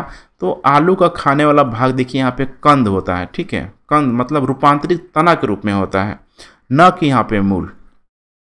निम्न में से आलू का कौन सा भाग खाने योग्य होता है? देखिए, तना। ध्यान रखिएगा, तना। ये नहीं तो जड़ लगा दीजिएगा नीचे से लाते हैं तो जड़ होगा। नहीं, तना। उपयुक्त देख पा रहे हैं। निम्न में से कौन सा एक फल है? फल यहाँ पे हो जाएगा, यहाँ पे देख पा रहे भिंडी। ध्यान रखिएगा, भिंडी। Lady finger. बाकी देखिए, यहाँ पे आलू हो गया, मूली हो गया, शकरकंद। ठीक है। ये सब यहाँ पे फल की कैटेगरी में नहीं रखा जाता है। देख पा रहे यहाँ पे भिंडी को फल की कैटेगरी में यहाँ पे रखा जा रहा है। भिंडी का पौधा एक पुष्पीय पादक, यहाँ पे फ्लावरिंग प्लांट होता है। इसका वनस्पतिक नाम एबले, माने एबेल मुस्करा एस्कुलेटस होता है। इसका फल कैप्सूल प्रकार का होता है। इसमें बीजों की संख्या अधिक होती है। इस फल का संपूर्ण भाग खाया जाता है। अन्य विकल्पों में खाल, मैंने आलू का खाया जाने वाला, ठीक है, भाग, तना तथा मूली एवं शकरकंद का जड़ होता है। तो मूली एवं शकरकंद का जड़ और आलू का हो जाएगा तना।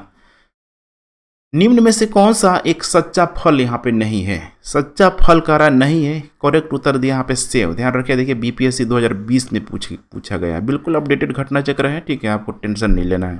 तो कौन सा सच्चा फल नहीं है? सेब है यहाँ पे, ठीक है। बाकी यहाँ पे अंगूर, खजूर, आलू, बुखारा सब सच्चा फल की कैटेगरी में रखा जा रहा है।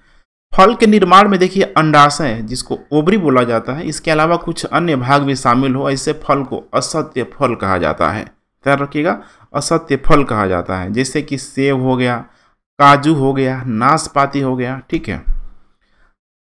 ध्यान रखिएगा, ठीक है। नेक्स्ट पादप कली है। क्या है पादप कली एक भ्रूणीय टहनी, ध्यान रखिएगा, एक भ्रूणीय टहनी वनस्पति विज्ञान में किसी अविकसित प्ररोह को कली या कलिका कहते हैं। यह किसी पत्ती के कच्छ पर या तने के अंतिम छोर पर उत्पन्न होती है। नेक्स्ट प्रश्न, सेवेंटी नाइन। कॉर्क निम्नलिखित में से किस जड़ से प्राप्त होता है? कॉर्क जो देखिए यहाँ पे, क्वेकर्स। ध्यान रखिएगा, क्वेकर्स। तो कॉक यहाँ पे, सॉरी कॉर्क हो जाएगा, ओक हो जाएगा, ठीक है। ये सब जो नामक वृक्ष की जो छाल से प्राप्त किया जाता है, जिसका वास्तविक नाम यहाँ पे क्वेकर्स सुबर है। थोड़ा देखिए, ठीक है, इतना सारा ये यहाँ पे टेक्निकल जो वर्ड है, ठीक है ना प्रोनाउंसिएशन करना अपने आप में बहुत डिफ़िकल्ट चीज़ होता है। यहाँ पे एक चीज़ों को समझाना नहीं है, बल्कि बहुत सारी चीज़ों को मिक्स कर, करके चलना एक ही क्लास में। तो थोड़ा सा आप लोग, ठीक है एक्टिव रहिएगा। इस पौधे का उत्पत्ति स्थल भूमध्य सागरीय क्षेत्र है। कार्क जो है यहाँ पे, अनियमित आकार का पतली भित्ति वाला तथा मोम युक्त कोशिकाओं वाला होता है। लहसुन की अभी लाक्षणिक गंध का कारण क्या होता है? तो इसका जो कारण होता है, सल्फ़र यौगिक। ध्यान रखिएगा, सल्फ़र यौगिक। लहसुन के देखिए यहाँ पे अभिलाक्षणिक जो गंध है यहाँ पे, इसका जो कारण है, सल्फ़र यौगिक के कारण होता है। बहुत इंपॉर्टेंट है, पूछा जा सकता है। इसके अलावा प्याज, सरसों के तेल में इसमें भी सल्फ़र पाया जाता है। लहसुन का तेल देखिए, वाष्पशील तथा महत्वपूर्ण होने के कारण सक्रिय गुण रहता है। इस तेल में सल्फ़र की प्रचुर मात्रा पाई जाती है, जबकि ऑक्सीजन का अभाव होता है। बहुत इंपॉर्टेंट की टर्म आ गया ऑक्सीजन का देखिए, यहाँ पे अभाव होता है। लहसुन का उपयोग स्वेद जनक मूत्रवर्धक, कफ निवारक, उत्तेजक इत्यादि के रूपों में पाया जाता है। मैंने इतना देखिए कर दिया गया है ना कि आप छोटा मोटा घरेलू डॉक्टर भी बन सकते हैं, देखिए। प्याजों के छिलके उतारने पर आँसू आ जाते हैं। क्यों? प्याज निष्कासित क्या करता है? बड़ा अच्छा सवाल है। अभी हम लोग देख रहे थे, ठीक है, सल्फेनिक अम्ल, ठीक है, सल्फ़र तो पाया जाता है, लेकिन सल्फेनिक अम्ल की वजह से आँसू आ जाता है। प्याज काटने पर देखिए, सिंथेज नामक इंजाइम निष्कासित होता है। देखिए, बिल्कुल घरेलू चीज़ है, लेकिन पता नहीं होता है। यही जब पूछ देगा तो बड़ी समस्या हो जाता है। तो ध्यान से देखते चलिए। सिंथेज जो एंजाइम प्याज में उपस्थित सल्फॉक्साइड अर्थात एमिलो अम्ल को सल्फेनिक अम्ल के रूप में परिवर्तित कर देता है। अस्थायी सल्फेनिक अम्ल अपने को पुनः व्यवस्थित करके, देख पा रहे हैं यहाँ पे सिन प्रोपेनथियल यहाँ पे करके एस ऑक्साइड का यहाँ पे निर्माण करता है और इसी से यहाँ पे आँखों में, ठीक है, आँसू आ जाता है। जीवन चक्र की दृष्टि से पौधे का सबसे महत्वपूर्ण अंग कौन सा होता है? तो यहाँ पे महत्वपूर्ण अंग हो जाएगा पुष्प। ध्यान रखिएगा, पुष्प, ठीक है। यह पौधे के प्रजनन में सहायक होता है। एक पुष्प में पुंग केसर और स्त्री केसर मिलकर प्रजनन भागों का निर्माण करते हैं। नेक्स्ट, मिर्च का तिछड़ता का क्या कारण है? तीखा क्यों लगता है मिर्च? ठीक है तो ये हो जाएगा कैप्सेसिन की उपस्थिति के कारण। तो मिर्च का तीक्ष्ण या तीखा स्वाद एक क्रिस्टलीय पदार्थ है, अर्थात कैप्सेसिन के कारण होता है। लाल मिर्च तीखी होती है क्योंकि उसमें उपस्थित क्या होता है? तो देखिए, उसमें उपस्थित जो होता है ध्यान रखिएगा, कैप्सेसिन होता है, ठीक है? रेशम का कीड़ा अपने जीवन चक्र के कारण यहाँ पे किस चरण में वाणिज्यिक तंतु यहाँ पे पैदा करता है? वाणिज्यिक तंतु पैदा करता है। इसका करेक्ट उत्तर हो जाएगा यहाँ पे कोशित। ध्यान रखिएगा, कोशित, ठीक है? रेशम का कीड़ा, जो सिल्क वर्म भी जिसको बोला जाता है, कोशित अर्थात पुपा भी बोला जाता है, इस अवस्था में वाणिज्यिक तंतु को उत्पन्न करता है।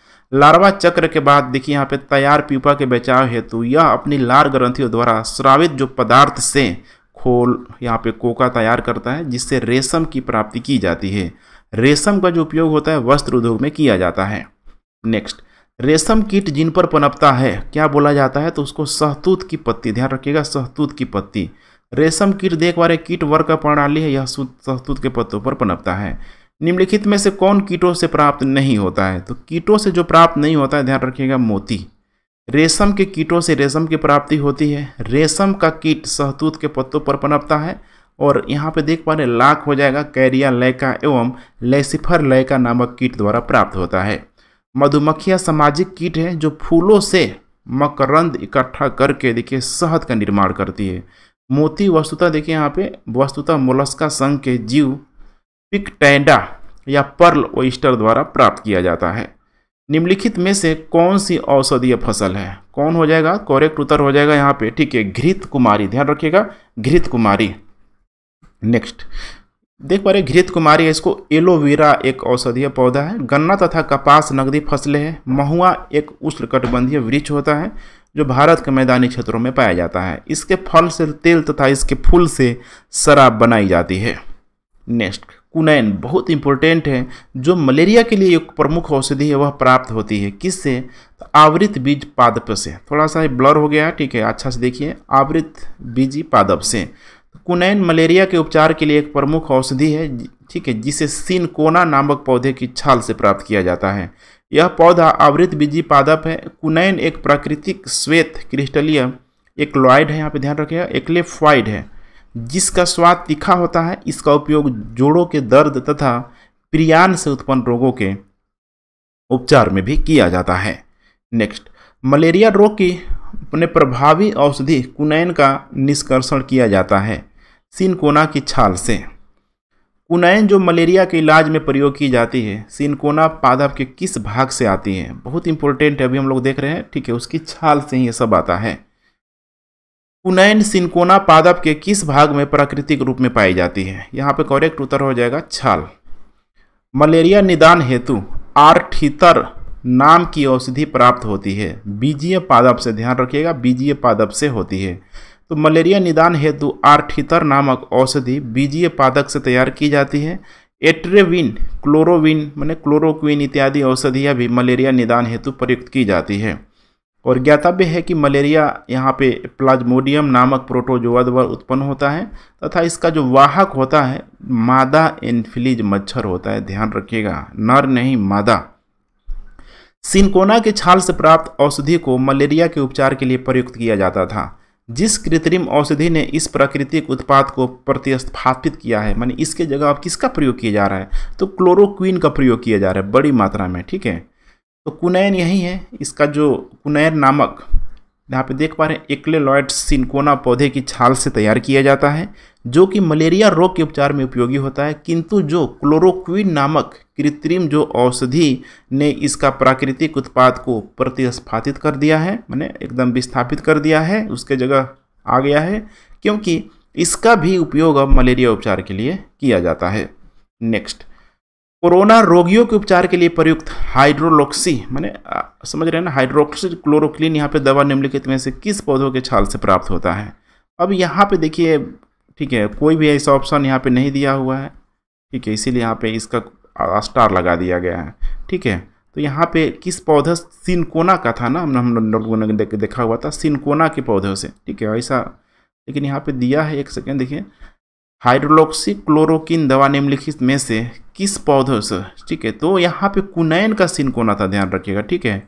इसमें पौधा नहीं था, इसमें दिए यहाँ पे क्लोरोक्विन दिया हुआ है। क्लोरोक्विन नामक, ठीक है, कृत्रिम औषधि ने, ठीक है, ऐसा कोई ऑप्शन नहीं है। क्लोरोक्विन होगा, इसीलिए स्टार लगा दिया गया। निम्न में से किस समूह के जीवों का डूबने से हुई मृत्यु का पता लगाने में महत्व है? ये हो जाएगा डायटम, याद रखिएगा डायटम। ये कोस्के डायटम जीव समूहों का प्रयोग सोलुइन थ्री फिफ्टी परीक्षण में डूबने से हुई मृत्यु का पता लगाने में किया जा सकता है। सहतूत का फल है एक सोरोसिस, ध्यान रखिएगा, सोरोसिस। सहतूत का फल सोरोसिस कहलाता है, यह एक प्रकार का बहु मिश्रित फल है। अनानास तथा कटहल के फल भी सोरोसिस कहलाते हैं। निम्न रेशों में से कौन पौधे के तने का उत्पाद यहाँ पे नहीं है? करेक्ट उत्तर हो जाएगा इसका कपास, ठीक है? तो यहाँ पे देख पा रहे हैं, सन हो जाएगा पटसन जूट के तनों की रेटिंग से रेशा प्राप्त किया जाता है। जबकि कपास के फलों में देखिए, यहाँ पे स्थित बीज के बीजावरण से लगी रेशों से प्राप्त करते हैं। दो प्रकार के होते हैं, एक बड़ी जिसे लिंट रेशा तथा दूसरी छोटी जिसे फज रेशा कहते हैं। लिंट रेशा व्यापारिक तौर पर अधिक महत्वपूर्ण होता है, जबकि फज रेशा कम महत्वपूर्ण होता है। Next ninety nine, leg haemoglobin पाई जाती है। ठीक है, कहाँ पाई जाती है? तो लेग्यूम मूल ग्रंथियों में पाई जाती है। देख पा रहे हैं, लेग हीमोग्लोबिन लेगुमिनोसी या फेबेल कुल के पौधों जैसे कि अल्फाफा, सोयाबीन आदि की मूल ग्रंथियों में पाई जाती है। निम्नलिखित में से कौन सा मानव निर्मित धान्य है जो कि प्रकृति में नहीं पाया जाता है? इसका करेक्ट उत्तर हो जाएगा ट्रिटिकेल ध्यान रखिएगा ट्रिटिकेल मानव निर्मित अनाज या धान्य है जो कि प्रकृति में नहीं पाया जाता है। वैज्ञानिकों ने इस संकर पौधे को प्रयोगशाला में गेहूँ तथा राई को परस्पर संस्करण यहाँ पे करा के तैयार किया है। इस संस्करण में देखिए, गेहूँ के मादा तथा राई के नर भाग का उपयोग किया जाता है। इसका अनाज मूलतः स्वीडन तथा स्कॉटलैंड द्वारा उत्पन्न किया गया है। इसको जो कि मुख्यतः पशुओं के चारे के लिए उपयोग किया जाता है। इसकी रोटी अच्छी नहीं बनती है। निम्नलिखित में से कौन सा अनाज मानव निर्मित है? ये इसका करेक्ट उत्तर हो जाएगा ट्रिटिकेल नेक्स्ट कैनोला मानव उपभोग के लिए उगाई गई विशिष्ट प्रकार की तिलहन सरसों की किस्म को निर्दिष्ट करता है। इन किस्मों की मुख्य विशेषता क्या होता है?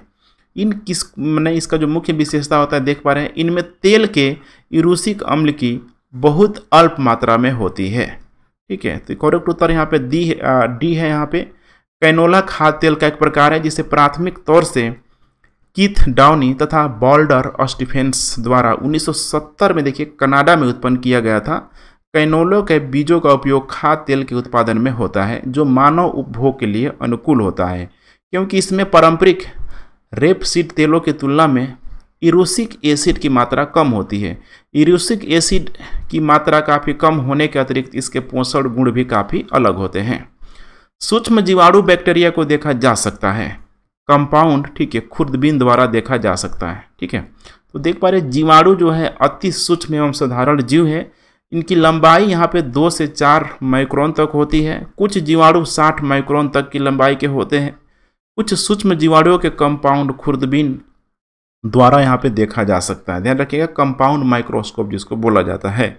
क्योंकि यह किसी वस्तु को लगभग 1500 से 200 गुना कुछ मतलब समझ रहे हैं ना, बड़ा करके दिखाता है। सोचिए कितना अजीब सा दिखता होगा सब, ठीक है?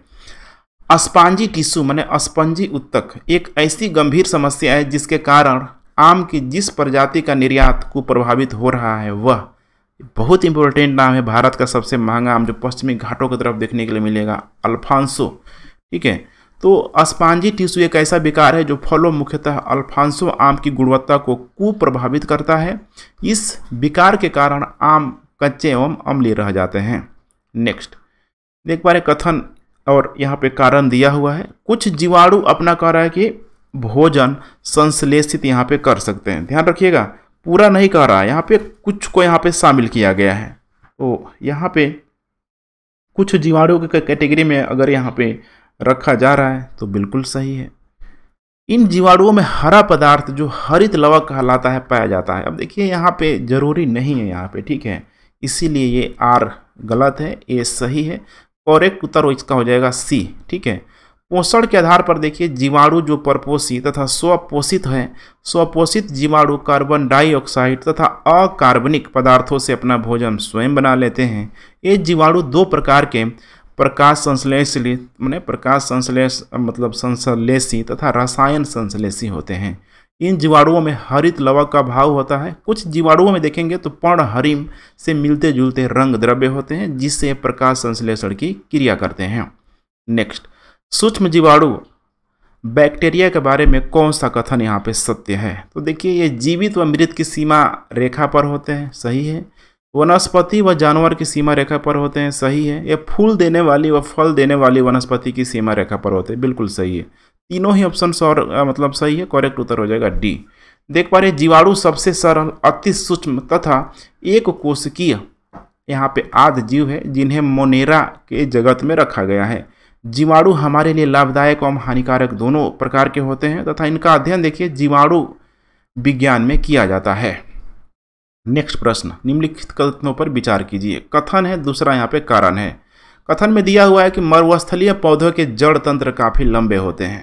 ध्यान रखिएगा मरुस्थलीय पौधे के जड़ तंत्र काफ़ी लंबे होते हैं, जो कि बिल्कुल सही है। लंबा होगा तभी तो नीचे जाएगा और चूँकि वहाँ पर मरुस्थलों में पानी की जो जल स्तर होगा, ठीक है, बहुत नीचे होगा। सही है। मृदा का उच्च तापमान जड़ विकास को प्रोत्साहित करता है। हाई टेम्परेचर कर रहा है तो अपने आप में गलत हो जाएगा। नमी चाहिए, ठीक है तो कारण गलत हो जाएगा, ठीक है? करेक्ट उत्तर यहाँ पे हो जाएगा सी यहाँ पे देख पा रहे मरुस्थलीय पौधों के अंतर्गत कैक्टस, इसके अलावा मदार, इसके अलावा यहाँ पे घिक्वार इत्यादि पौधे आते हैं जो कि शुष्क वातावरण में अपना जीवन चक्र पूर्ण कर लेने की क्षमता रखते हैं। इन पौधों में जड़ तंत्र मृदा से जल की खोज के लिए काफ़ी लंबे हो जाते हैं तथा इनके तने छोटे, रूपांतरित एवं कभी कभी भूमिगत होते हैं। नेक्स्ट प्रश्न, मरुस्थलीय पौधों की जड़ें लंबी होती हैं, क्योंकि जड़ें जो है देखिए पानी की तलाश में लंबी हो जाती है। आ गया।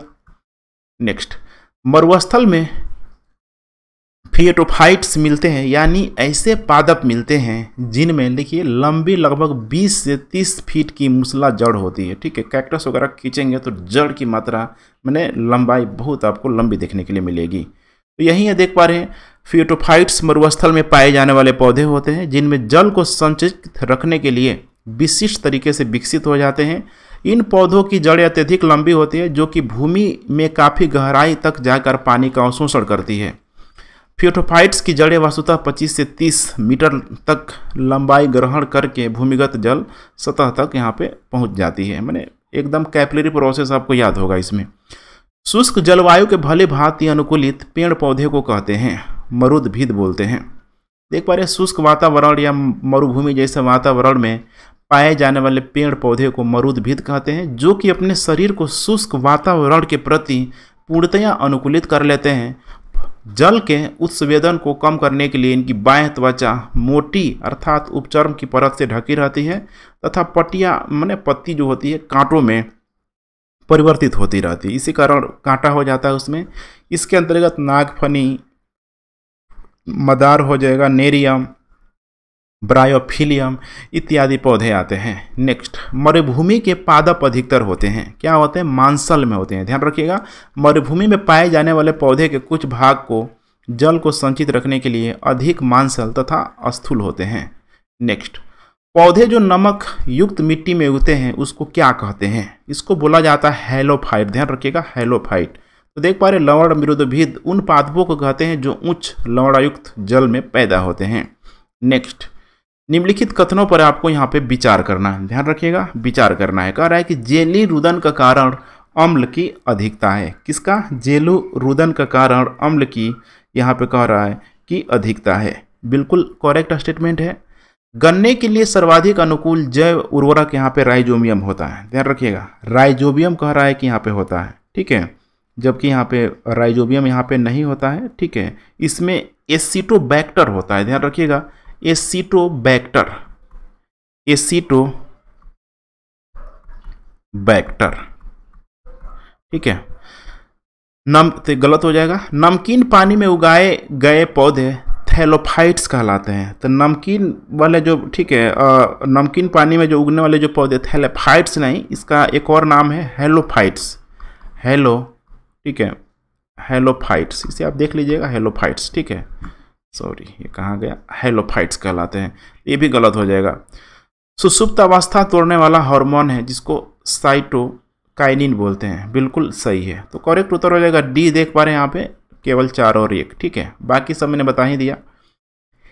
एपीफाइट्स वे पौधे हैं जो अन्य पौधे पर निर्भर होते हैं। किसके लिए? तो यांत्रिक अवलंब के लिए। यांत्रिक अवलंब के लिए, क्योंकि यहाँ पे देख पा रहे हैं, जो एपिफाइट्स वे पौधे हैं, जो दूसरे जीवित पौधे पर उगे लगे रहते हैं, वे अपना भोजन स्वयं बनाते हैं, क्योंकि इनमें पर्ण रहित पाया जाता है। ये सिर्फ़ पोषक पौधों पर यांत्रिक अवलंब के लिए निर्भर रहते हैं।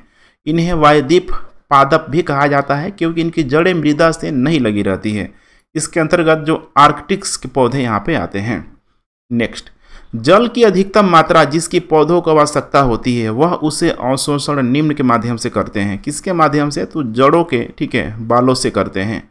पौधे अपनी जड़ों के, ठीक है, बालों द्वारा भूमि से जल का अवशोषण करते हैं। जड़ों के बाल, देख पा रहे हैं, एक प्रकार की पतली भित्ति वाली एक कोष की संरचना होती है, जो जड़ों के बाहरी भाग एपिडर्मिस से निकली होती है। नेक्स्ट हाइड्रोफाइट कहलाता है। क्या कहलाता है? तो एक जलीय पौधे को हाइड्रोफाइट बोलते हैं, ठीक है? यही है, बहुत अधिक जल वाले स्थान पर पाए जाने वाले पौधों को हाइड्रोफाइट कहते हैं। इनमें बड़े बड़े अंतरा कोशीय स्थान अर्थात इंटर, यहाँ पे सेलुलर स्पेस होते हैं, जिनमें वायु भरी होती है, जो कि पौधों के तैरने में सहायक होता है। इन पौधों में यांत्रिक उत्तक भी बहुत कम विकसित होते हैं या उनका पूर्ण अभाव होता है। नेक्स्ट। पौधों द्वारा ली गई विकीर्ण ऊर्जा निम्न परिणाम देती है। किसका? तो जल का प्रकाश अपघटन का। तो पौधों द्वारा ली गई विकीर्ण ऊर्जा का जो परिणाम है, जल का प्रकाशीय जो अपघटन होता है, जिसमें जल के अणु टूटकर हाइड्रोजन तथा ऑक्सीजन गैस बनाते हैं। इसमें देख पा रहे हैं यहाँ पे एच टू आयन इलेक्ट्रोक इलेक्ट्रॉन जो वाहक होता है इलेक्ट्रॉन कैरियर जो ले जाता है, इसका कार्य करता है। जल का प्रकाशीय अपघटक प्रकाश कर्म में संपन्न होता है। नेक्स्ट निम्न में किसका सही सुमेल यहाँ पे नहीं है? किसका सही सुमेल देखते स्वजीपी मतलब उत्पादक मृतजीवी मतलब विबंधक, परजोई मतलब उपभोक्ता। करेक्ट उत्तर हो जाएगा यहाँ पे तीर्ण भच्छी देखिए, गौड़ उपभोक्ता के रूप में इसको रखा गया। किसमें? गौड़ उपभोक्ता के रूप में यहाँ पे रखा हुआ है। जबकि तृण गच्छी देखिए यहाँ पे, ठीक है, जो तृण भच्छी जिसको बोला जा रहा है, इसको प्राथमिक उपभोक्ता के रूप में। ध्यान रखिएगा प्राथमिक उपभोक्ता के रूप में यहाँ पे रखा जाता है, जो कि शाकाहारी होगा, ठीक है? मैंने तीन मतलब समझ रहे हैं, घास। बाकी सब वही है। प्रथम पोषक स्तर के अंतर्गत आते हैं, हरित पादप आएगा ठीक है? वे पौधे जो प्रकाश संश्लेषण के द्वारा भोजन का निर्माण करेगा, प्राथमिक पोषक या उत्पादक कहलाएगा। पौधे प्रकाश संश्लेषण, हरे रंग के लवक, माने क्लोरोफिल की सहायता से करते हैं और क्लोरोफिल के कारण ही पौधे हरे होते हैं। नेक्स्ट। आर्की बैक्टीरिया के एक समूह को उत्पादन के लिए उपयोग में लाया जाता है। क्या लाया जाता है? तो मेथेन को लाया जाता है। आर्की बैक्टीरिया के लक्षण सामान्य जीवाणुओं से भिन्न होते हैं। इसमें देख पा रहे मिथेनोजेंस समूह अयावयीय होते हैं। ये दलदल वाले स्थानों और पशुओं के रुमेन में पाए जाते हैं। उपयोग देख पा रहे हैं यहाँ पे मिथेन के उत्पादन में होता है। नेक्स्ट अधिकांश कीट शोषण कैसे करता है? ध्यान रखिएगा, वातक तंत्र से। सभी कीटों में श्वसन की क्रिया होती है, जिसके दौरान वे ऑक्सीजन को शरीर के अंदर ग्रहण करके कार्बन डाइऑक्साइड को बाहर निकालते हैं। इनमें श्वसन के लिए वायु नलियों या ट्रैकी, ध्यान रखिएगा, ट्रैकी का जाल बिछा रहता है, जिसे वातक तंत्र कहा जाता है। यह तंत्र बाहरी वायु को ग्रहण करके शरीर की प्रत्येक कोशिकाओं तक पहुँचाने में सहायक होता है। नेक्स्ट, जमी हुई झील के अंदर मछली जीवित रह सकती है। क्यों रह सकती है? क्योंकि तलों के निकट पानी नहीं जमता है। ध्यान रखिएगा, ठीक है, सर्दियों के मौसम में जब बाहरी तापमान जल के हिमांक बिंदु से कम हो जाता है, तब झीलें तथा नदियाँ जम जाती हैं। परंतु इस दिशा में झील या नदी के केवल ऊपरी परत ही जमता है, ध्यान रखिएगा, ठीक है। ऊपरी परत के नीचे जल अपने तरल रूप में ही विद्यमान होता है, इसीलिए मछलियाँ तथा अन्य जो जलीय जीव, प्राणी जमी हुई झीलों में भी जीवित रह सकते हैं। जल से बाहर निकाल ली जाने वाली मत्स्य मर जाती है। क्यों मर जाती है? बड़ा अच्छा सा सवाल है। ये श्वास नहीं ले पाती है, क्योंकि ये श्वास ध्यान रखिएगा, ठीक है, जो गिल बोलते हैं, उसी की सहायता से पानी में ही ले सकती है, ठीक है? तो जल से मत्स्यों को बाहर निकाल दिया जाना पर वे मर जाती है, क्योंकि वे श्वसन क्रिया, जिसको रेस्पायरेशन बोलते हैं, नहीं कर पाती है। मछलियों में श्वसन के लिए जो गल्फड़, गिल पाए जाते हैं, जो कि पूर्णतया जल में घुलिया, जो ऑक्सीजन होता है ना एच टू ओ देखिए एच टी ओ वाटर है तो इसमें ऑक्सीजन भी है। उसको ग्रहण करके ही ये, ठीक है, ज़िंदा रहती है। मछलियों में सामान्यतः श्वसन होता है, किसके द्वारा? गल्फड़ों द्वारा।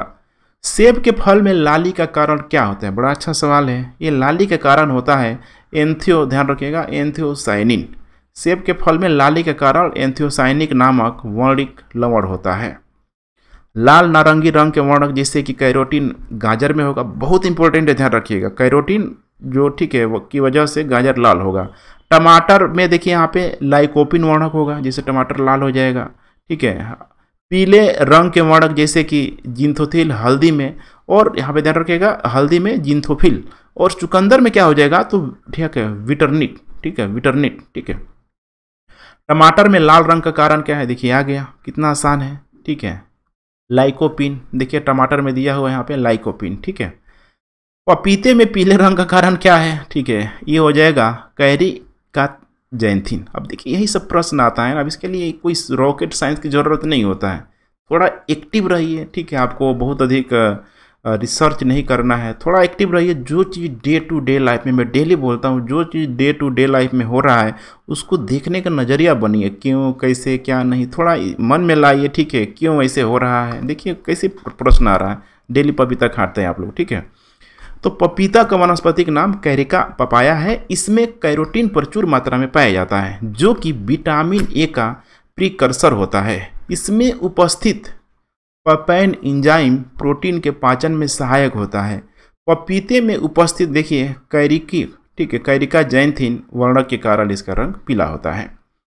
हाल ही में हमारे वैज्ञानिकों ने केले के पौधों की एक नई और भिन्न जाति की खोज की है, जिसकी ऊंचाई लगभग 11 मीटर तक जाती है और उसके फल का गुदा नारंगी रंग का है, यह भारत के किस भाग में खोजी गई है? तो किस भाग में खोजी गई है? अंडमान, ठीक है, द्वीप में। देख पा रहे भारतीय जो वनस्पति सर्वेक्षण है यहाँ पे, जिसको बोटेनिकल सर्वे ऑफ़ इंडिया जाना जाता है, ठीक है, इसने वैज्ञानिकों ने, इसके वैज्ञानिकों ने अंडमान द्वीप के उष्णकटिबंधीय वर्षा वनों से केले की एक नई प्रजाति को खोजा है, जिसे मूसा इंड इंड अंडमाइनेंसिस का नाम दिया गया है। इस नई प्रजाति की ऊंचाई लगभग देखिए 11 मीटर है, ठीक है तो बहुत अधिक हो जाएगा, जबकि सामान्य केले की प्रजाति लगभग तीन से चार मीटर तक होती है। गुच्छे में पकने से पहले यह केला हरे रंग का ही रहता है, लेकिन पकने के बाद इसके छिलके पीले और गुदे का रंग यहाँ पे नारंगी हो जाता है। थोड़ा सा अजीब दिखता होगा। निम्न में से जीवित प्राणियों का कौन सा समूह एक ही स्पीसी से संबंधित है? उसका संबंध है, ध्यान रखिएगा, चीनी, अमेरिकी, भारतीय तथा काले अफ्रीकी से। ठीक है, बहुत अच्छा सवाल है। तो जीवित प्राणियों का समूह देख पा रहे चीनी, अमेरिकी, भारतीय, काले अफ्रीकी, एक ही स्पेसीज अर्थात होमोसेपियन से संबंधित है, जबकि शेष विकल्प में जंतुओं का समूह यहाँ पे अलग अलग हो जाएगा। ठीक है। खमीर एक उदाहरण है। किसका उदाहरण है? कवक का। खमीर एक, देखिए यहाँ पे, कोशिकीय सूक्ष्म जीव है, यह शर्करा युक्त कार्बनिक पदार्थों में बहुतायत से पाया जाने वाला विशेष प्रकार का कवक है। ईस्ट और मशरूम है, क्या है यह? तो फुफुंद हो जाएगा, ध्यान रखिएगा, जिसको फंगी बोला जाता है। तो ईस्ट और वह मशरूम फुफुंद अर्थात कवक है, ये पर्ण, हरिम रहित तथा संवहन उत्तक रहित होते हैं, जो कि भोजन के लिए दूसरों पर निर्भर रहते हैं। ईस्ट देख पा रहे हैं यहाँ पे, इसको माइसिटीज कुल का, जबकि मशरूम जो देखेंगे तो बेसी डियोमाइसिटीज का एक उदाहरण है, माने एक सदस्य है। मशरूम क्या है? बड़ा अच्छा सवाल है। कवक, ध्यान रखिएगा, कवक नाम से अजीब लग रहा होगा, लेकिन यही कवक को खाया जाता है, ठीक है?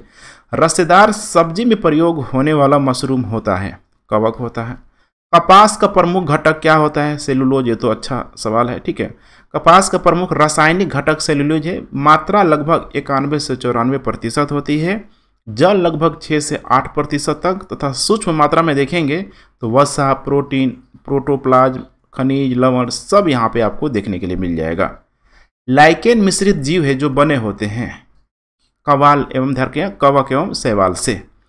लाइकेन दो पूर्णतः भिन्न वनस्पतियों से बना है, एक द्वैत पादप होता है, इन वनस्पतियों में एक शैवाल और दूसरा कवक होता है। किंतु इन दोनों में इतना निकटतम साहचर्य होता है कि इसके बिना लाइक्वेन एक ही पौधा प्रतीत होता है। सैवाल और कवक के मिलने से लाइकेन बनता है, जिसे कहते हैं, क्या कहते हैं इसको? तो ध्यान रखिएगा, ठीक है, म्यूचुअलिज्म बोला जाता है। सैवाल और कवक के मिलने से लाइकेन बनता है, जिसे म्यूचुअलिज्म कहते हैं। इसमें सैवाल तथा कवक दोनों ही समान रूप से लाभान्वित होते हैं। सैवाल कार्बनिक पदार्थों का संश्लेषण करते हैं, जो स्वयं तथा कवक की घटक के लिए पर्याप्त होता है। कार्बनिक भोजन के बदले में कौकी घटक सवाल को जल व खनिज उपलब्ध कराते हैं। नेक्स्ट, लाइकेन जो एक नग्न चट्टान भर भी पारिस्थितिक अनुक्रमों को प्रारंभ करने में सक्षम है, वास्तव में किनके सहजीवी सहचारी हैं? किनके तो सैवाल और कवक का। देख पा रहे लाइकेन निम्न श्रेणी की एक छोटी वनस्पतियों का एक समूह है, जो विभिन्न प्रकार के आधारों पर उगे हुए पाए जाते हैं। इन आधारों पर वृक्षों की पत्तियाँ एवं छाल, प्राचीन दीवार, भूतल, चट्टान सिलाई मुख्य हैं। वास्तव में लाइकेन दो पूर्णतया निम्न वनस्पतियों से बना एक द्वैत पादप होता है। इन वनस्पतियों में से एक है सेवाल और दूसरा है यहाँ पे कवल। ठीक है सेवाल मतलब अलगी और कवल का मतलब फंगस। इन दोनों में इतना निकटतम साहचर्य होता है कि इनसे बना लाइकेन एक ही पौधा प्रतीत होता है। इस साहचर्य में देखेंगे तो अधिकांशतः कवक ही होता है, जो सैवाल वाले अंग के ऊपर एक थैले की भांति आवरण होता है तथा थैलस के आकार के लिए उत्तरदायी होता है। दोनों वनस्पतियों की मिश्रित वृद्धि से ही लाइकेन को एक विशेष आकार और संरचना प्राप्त होता है, जिससे लाइकेन कई कुल और जातियों में विभक्त हो जाता है। नेक्स्ट नोस्का पिन किससे प्राप्त होता है? यह पोस्ता अर्थात पॉपी से प्राप्त होता है, ठीक है? तो यहाँ पे देख पा रहे हैं किस दृष्टिकोण से नोस्का पिन पोस्ता से प्राप्त होता है। हेरोइन प्राप्त होता है अफीम पोस्ता से। तो हेरोइन अफीम पोस्ता से प्राप्त होता है। यह सफ़ेद रंग का पाउडर होता है, जो अफीम पोस्ता से प्राप्त मॉर्फिन के संश्लेषण से बनाया जाता है। नेक्स्ट मॉर्फिन किससे प्राप्त होता है? करेक्ट उत्तर हो जाएगा फल से। तो मॉर्फिन पोस्ता, देख पा रहे हैं यहाँ पे वैज्ञानिक नाम है इसका पेपेवर मैंने पेपेवर सोमनीफेरस के अपरिपक्व फल, मैंने ठीक है अनरी फ्रूट से प्राप्त की जाती है। पोस्ता का जो पौधा है, एक आवृत वृक्ष मैंने बीज, बीजी पादप है, जिससे अफीम तथा हेरोइन भी प्राप्त किया जाता है। मॉर्फिन शब्द की उत्पत्ति, ठीक है, मॉर्फियस से हुई है। मॉर्फिन देखते हैं ना, मैंने सैनिकों वगैरह में खासकर बहुत इसका प्रयोग किया जाता है, मॉर्फिन इंस्टेंट रिलीफ के लिए। देखिए यहाँ पे, दर्द, निवारक औषधि तथा निद्रा कारक के रूप में किया जाता है। मॉर्फिन का सीधा प्रभाव केंद्रीय तंत्रिका अर्थात सेंट्रल नर्वस सिस्टम पर यहाँ पे पड़ता है। अफीम प्राप्त किया जाता है। किससे किया जाता है? तो बिना पके फल के लेटेक्स से। ठीक है? अफीम के पौधे के दूध, अर्थात लेटेक्स को सुखाकर बनाया गया पदार्थ है। अफीम का दूध निकालने के लिए उसके कच्चे, अपरिपक्व फल में एक चीरा लगाया जाता है। इसका दूध निकलने लगता है, जो कि निकलकर सूख जाता है। अफीम पोस्ता पौधे के किस भाग से प्राप्त होता है? अधपके फल से प्राप्त होता है।